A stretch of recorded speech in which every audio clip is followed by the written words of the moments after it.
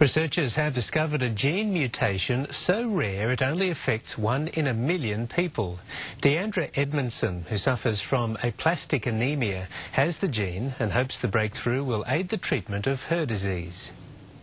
Bateau Bay's Diandra Edmondson has battled with the rare and debilitating aplastic anemia for 10 years. The disease has left her body unable to make the platelets needed for the blood to clot and stop bleeding. Now, a new genetic discovery made by the Children's Medical Research Institute in Westmead could revolutionise the 18 year old's treatment.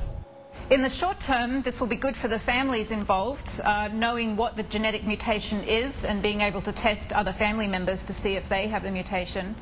Uh, and in the long term, we're hoping that it will help us to develop treatments for these diseases.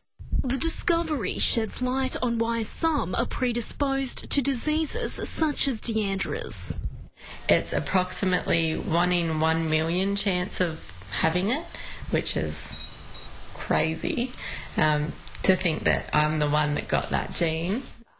It's hoped the discovery will eventually lead to a cure, but in the meantime, the public is being reminded rolling up their sleeves and giving blood can save lives. And it's really, really important that people are aware that they can donate platelets as well because there's a lot of people out there that do need them. Um, and if it wasn't for the people that donate the platelets as well, I wouldn't be alive today.